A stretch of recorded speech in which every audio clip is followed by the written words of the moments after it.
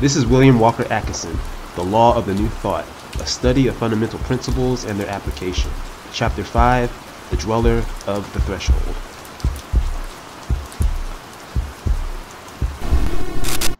Bulwer Lytton's creation, the frightful monster confronting the neophyte in the secret chamber. The real meaning of the occult figure of speech, fear, the great obstacle to success and happiness and spiritual attainment, stands at the door to freedom, keeps the race in bondage. No advancement possible until it is overcome, and it can be overcome. Confront it boldly and it retreats. Assert the I am. Fear is as much a magnet as desire. Fear the parent of all the brood of negative thought. Illustrations Fear has hypnotized the race. Fear never did man any good, and never will. The cry of, I'm afraid, has always been heard. Opposition to new ideas. How fear may be defeated. Fear a humbug and a boogaboo, without any real power over us except that which we allow him.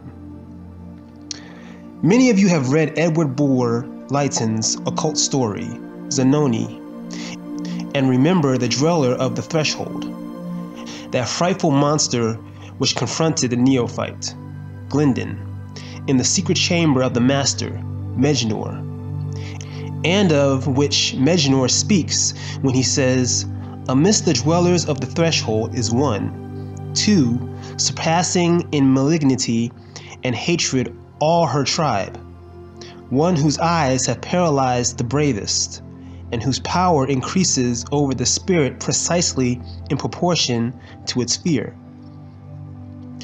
In another chapter, Glyndon seeks to penetrate the mysteries of the secret chamber and meets the hideous keeper of the door, which is described thus The casement became darkened with some object undistinguishable at the first gaze, but which sufficed mysteriously to change into ineffable horror the delights he had before experienced. By degrees, this object shaped itself to his sight. It was that of a human head covered with a dark veil, through which glared with livid and demonic fire eyes that froze the marrow of his bones. Nothing else of the face was distinguishable, nothing but those intolerable eyes. It seemed rather to crawl at some vast mishapen reptile. And pausing at length, it cowered beside the table, which held the mystic volume, and again fixed its eyes through the filmy veil on the rash invoker. Clinging with the grasp of agony to the wall, his hair erect, his eyeballs starting, he still gazed back upon that appalling gaze the image spoke to him. His soul, rather, than his ear comprehended the words it said. Thou hast entered the immeasurable region. I am the dweller of the threshold. Those familiar with occult symbols and figures recognize Lytton's dweller of the threshold that enemy of man's progress, that frightful figure that stands before the door to freedom fear. Fear is the first and great enemy to be overcome by the man or woman who wishes to escape from bondage and attain freedom. The door to freedom is pointed out, and the seeker makes a few steps in that direction, but is halted by the sight of the malignant dweller of the threshold fear. Lytton has not painted in it too frightful form. Words cannot describe the hideousness of this monster. Fear stands in the road of all progress, all advancement, escape. Fear is at the bottom of all of man's failures, sorrows, unhappiness. The fear of the race keeps it in bondage. The fear of the individual keeps him a slave. Until fear is overcome, there can be no advancement for either individual or race. This enemy must be overcome before there can be escape. And it can be overcome by those who will face it calmly and boldly. Look fear square in the eyes, and her eyes drop, and she retreats before you. Assert the I am, and know in the depths of your soul that nothing can injure the real I, and fear flies before you. Fearing that you will conquer her and bind her with chains, she knows the power of the I am consciousness. When a man allows fear to enter his heart, he attracts to him all that which he fears. Fear is a powerful magnet and exercises a wonderful attracting power. Besides this, it paralyzes the efforts and energy of the man and prevents him from doing that which he could easily do were he free of the monster. Man succeeds in proportion as he frees himself from fear. Show me the successful man, and I will show you a man who has dared and who has turned his back upon fear. Take your own life, for instance. You have had many opportunities offered you which you have allowed to pass you because of fear. You have met with a fair degree of success, and at the last moment, when the prize was in sight, you have drawn back your hand and fled to the rear. Why? Because you lost your nerve, and fear entered your heart. When the microbe of fear enters the system, the entire body is paralyzed. Fear is the parent of the entire brood of negative thoughts which keep men in bondage. From her womb spring worry, jealousy, hate, malice, envy, uncharitableness, bigotry, intolerance, condemnation, anger, and the rest of the foul brood. You doubt this, do you? Well, let us see. You do not worry about things unless you fear them. You do not feel jealous unless fear is also present. Hate is always mingled with fear and springs from it. One does not hate a thing that is beyond the power of hurting him. Envy shows its origin.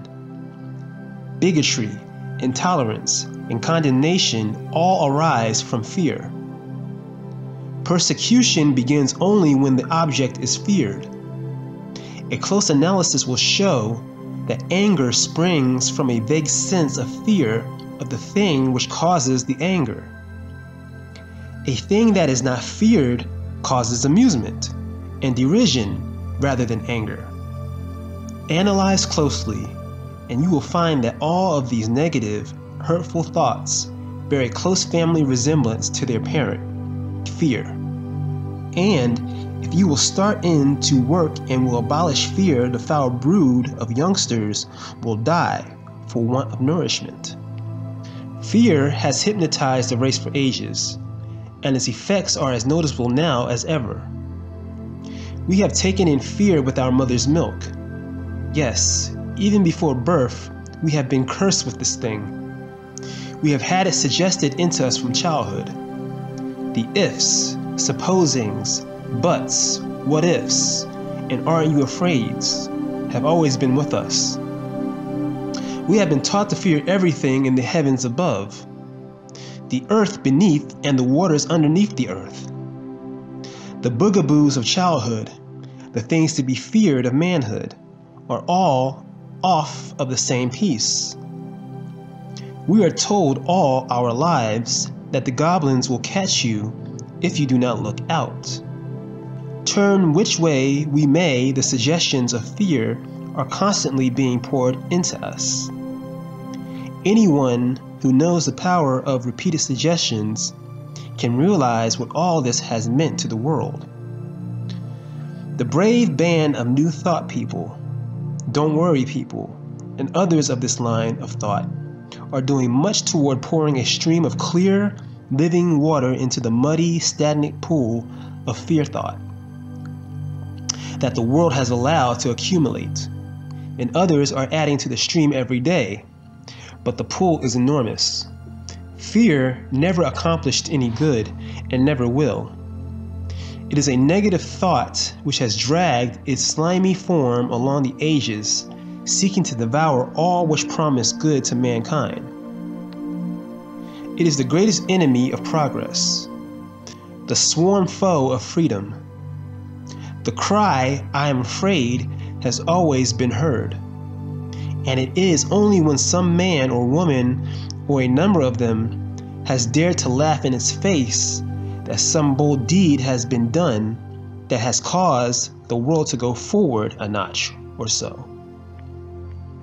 Let someone advance a new idea calculated to benefit the world, and at once you hear the cry of fear, with the accompanying yells of the whelps, hate and anger, filling the air and awakening echoing yells, growls and snarls from all the fear kennels within hearing distance. Let anyone try to do a thing in a new way, approve upon some accepted plan, teach the truth in a new way, and a yell goes up. Fear is the curse of the race. The man who is in bondage to fear is a very slave. And no crueler master ever existed. In proportion to his fear, man sinks in the mud. And the pathetic, although somewhat humorous, part of it all is that all the time the man has sufficient power to rise up and smite his taskmaster a blow between the eyes, which will cause him to retreat in a hurry. Man is like a young elephant, which has not yet recognized its strength. When one once realizes that nothing can hurt him, fear flees from him. The man who recognizes just what he is and what is his place in the universe parts company with fear forever. And before he reaches this stage, fear loses its hold upon him as he advances step by step toward that recognition. And not only on the plane may fear be defeated, but even on the lower plane of self interest and self advancement, fear may be gotten rid of. When man recognizes that fear is a sort of homemade, pumpkin headed jack o' lantern instead of the fiery eyed monster of the night he had supposed it to be, he will walk up to it and knock it off the fence posts where it had been placed to frighten him. He will see that the things that happen are never so bad as things that were feared. He will see that the fear of a thing is worse than the thing itself he will see that as the anticipation of a desired thing is greater than the realization, so is the anticipation of a feared thing worse than the happening of it. And he will find that the majority of feared things do not happen. And he will find that even when things do happen, somehow matters are straightened out so that we bear the burden much better than we had dreamt would be possible. God not only tempers the wind to the shorn lamb, but he tempers the shorn lamb to the wind. And man finds that the very fearing of a thing often brings it upon him, while a fearless mental attitude sends the thing flying away, often at the last moment. Job cried out, The thing that I feared hath come upon me. Someone has said, and I have often repeated it, there is nothing to be feared but fear. Well, I go further than that now and say that there is no sense in fearing even fear.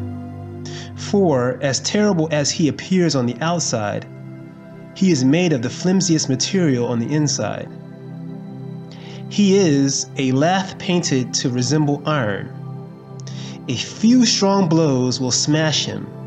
He is a fraud, a yellow dog wearing a lion's skin. Stand up before him and smile boldly in his face. Look him in the eyes and smile. Do not mind his frightful form, his hideous mask. He is a weakling when matched with courage and confidence. All these negative thoughts are weaklings when compared with their opposites on the positive plane. Would you know how to get rid of fear? Then listen.